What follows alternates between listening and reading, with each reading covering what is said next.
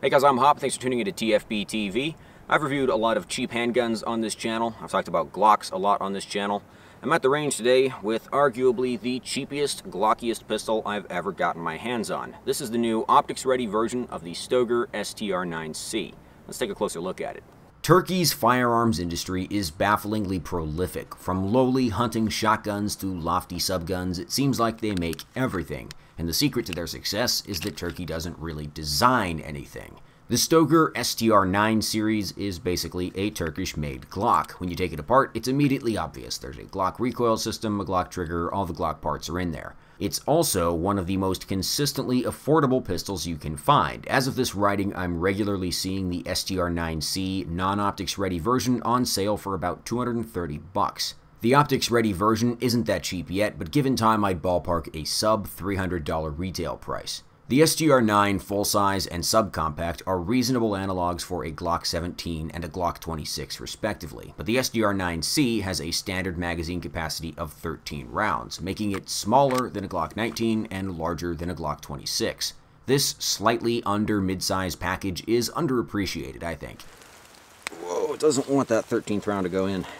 It might seem like the traditional double stack compact is obsolescent now that 1 and 3 quarter stack micros are flooding the market, but there's no doubt that the bigger guns are way easier to shoot. If you want to crunch the numbers and maximize rounds carried in a small footprint, you should be looking elsewhere, James Reeves. Taurus, GX4, Mossberg MC2, SC, SIG, P365, Springfield Hellcat, the new IWI Masada Slim, the market is overflowing with high capacity micro pistols.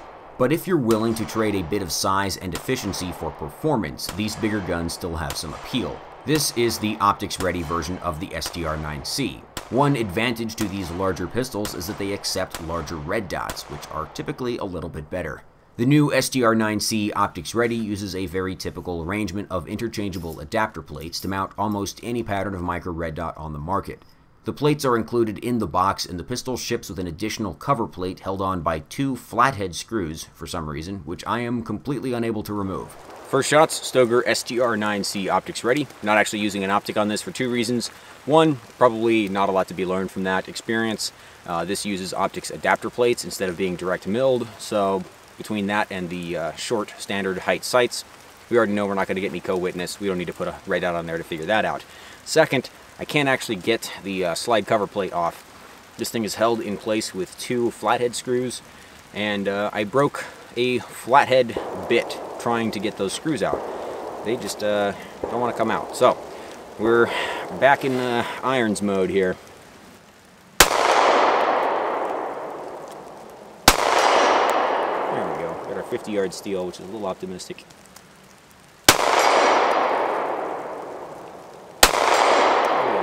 nice open sights. Nice Glock style trigger. Oh yeah.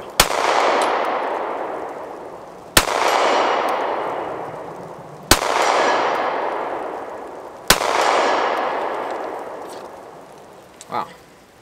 It is actually a really superb shooter. That trigger is just like a super well worn in Glock trigger. Aside from the goofed up optics cover plate, this gun feels excellent. Turkish made handguns are usually pretty cheap, but they're not just some pot metal Saturday night specials. The fit and finish of the STR9 punches well above its price bracket.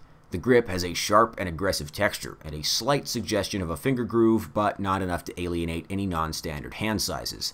The grip shape and sharp backstrap texture makes the STR-9C very stable under recoil. I've also been shooting a lot of snappy micro pistols that are about as big around as a straight razor, so a normal sized gun like this handles like a dream. Almost makes you wonder why we ever stopped carrying these.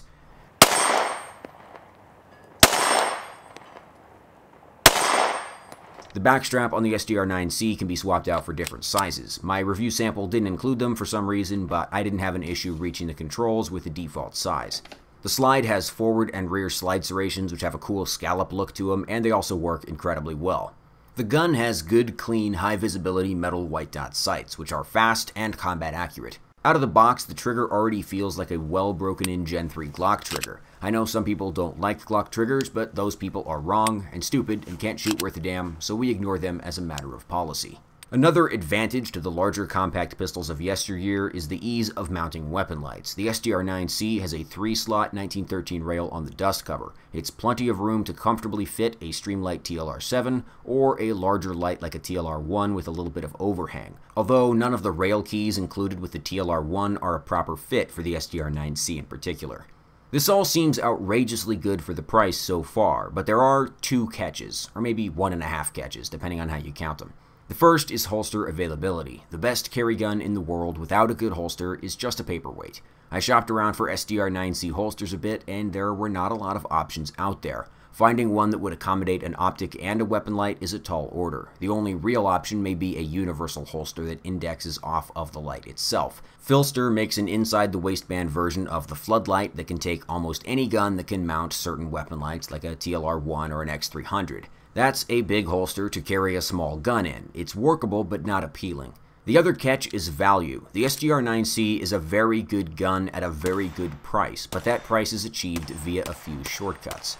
The pistol only includes one magazine in the box. I don't want to have to chase down a spare immediately after getting the pistol. Mags are also an expensive accessory for most guns. If you factor in the 35 bucks or so to buy a spare magazine for the STR-9C, the cost of the gun is now more in line with, say, the Taurus G3C Toro, which comes with three magazines. The STR-9C also doesn't have co-witness sights to go along with that optics cut. Too many manufacturers are shipping optics-ready guns with the same low-profile sights as their non-optics-ready models. I think these things need a little bit more time in the oven.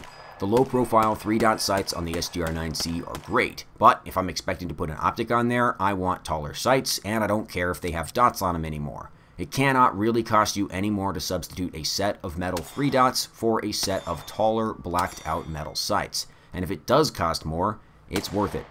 So ultimately, the STR-9C gets a kind of half-assed recommendation from me. If I was looking for an optics-ready pistol, I don't think I'd go with this one. For a non-optics ready pistol, the standard STR-9C is very compelling if you can find the right holster, but I don't think this version made the leap to red dot compatibility very gracefully.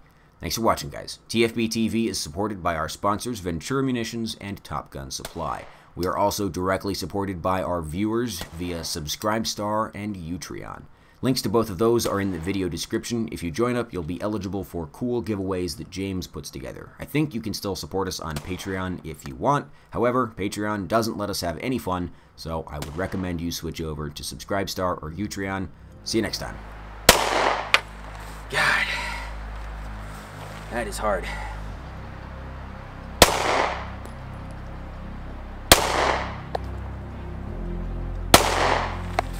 And that is not.